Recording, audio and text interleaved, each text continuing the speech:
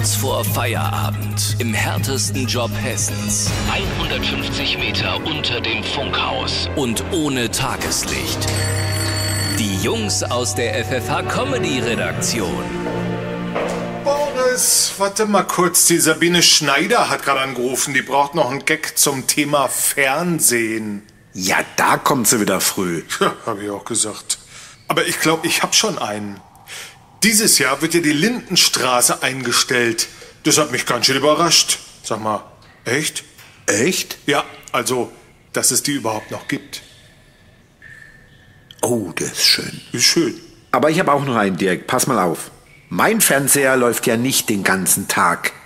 Der steht immer auf demselben Platz.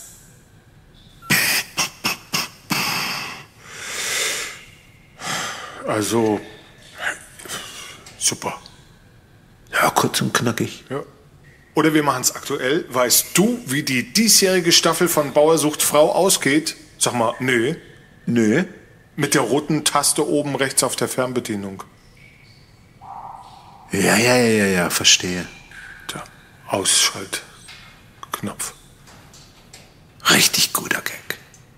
Richtig gut. Ja, dann, dann schicken wir den hoch und machen Schluss mit lustig. Genau. Endlich Feierabend im härtesten Job Hessens. Der FFH Comedy Keller. Jeden Nachmittag bei Hitradio FFH.